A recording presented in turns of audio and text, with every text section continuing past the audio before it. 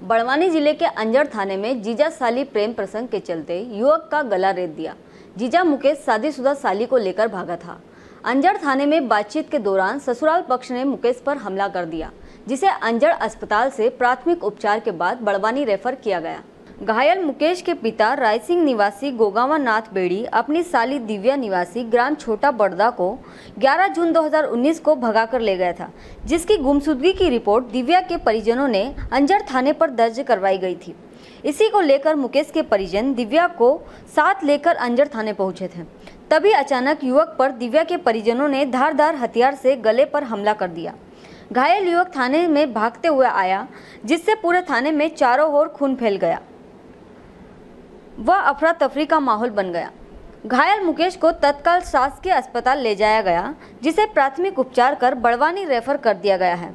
मुकेश के परिजनों ने बताया कि हमला करने वालों में दिव्या का पिता भारत, भाई श्रवण, लखन विशाल व चचेरा भाई अनवर व दिव्या का पति शामिल था।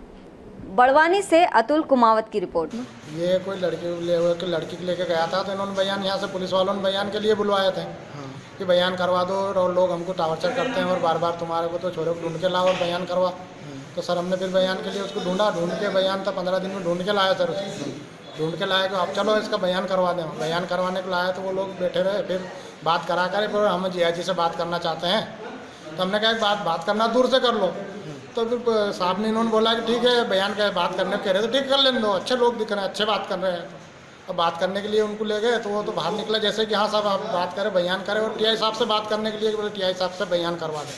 टी आई साहब से बयान करवाने गए तो वो चाकू लेके लखन भारत और सरवान और क्या नाम से लखन बा, बा, अपना क्या नाम से वो तुम्हारे अनवर अनार ये सब उन्होंने चाकू से मारने लग गया अंक बीस अब्लिक उन्नीस गायब है, जिसमें गुमशुदा दिव्या पति अरुण सोलंकी है, जो 11 तारीख को अपने जीजा मुकेश के साथ भाग गई थी। तो हमारे यहाँ गुमशुदगी दर्ज है तो उस पर आज उसके यहाँ थाने पर उपस्थित हुई थी दस्तियाबी की जा रही थी।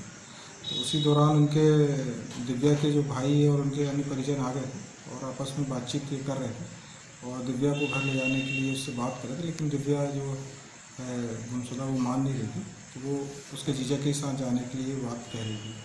तो आपस में बातचीत कर रहे थे बातचीत करते करते थाने के गेट के पास में कोई पहली वस्तु से जो दिव्या के भाई है श्रवण लखन आदि लोगों ने उस पर मारपीट की और उसके गले पर कोई पहली चीज़ से मारना वो बता रहे अभी मेडिकल के लिए मुकेश को अस्पताल भेजा अभी स्थिति है अभी स्थिति नॉर्मल बता रहे डॉक्टर साहब।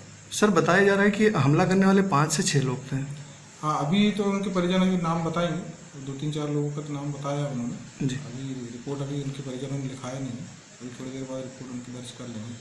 सर जो इनकी पहली पत्नी है उनको कोई आपत्ति नहीं है सर इस शादी से? ऐसी कोई जानकारी नहीं है। हाँ पहली पत्नी का आपत्ति है या नहीं है इसकी जानकारी नहीं। सर आरोपियों की अभी तलाश कोई हिरासत में ऐसा कुछ? हाँ, अभी करेंगे। अभी तो मेडिकल करा रहे हैं अभी रिपोर्ट लिखने की कार्रवाई नहीं अभी इंदौर बड़वानी रेफर किया गया? बड़वानी बड़ा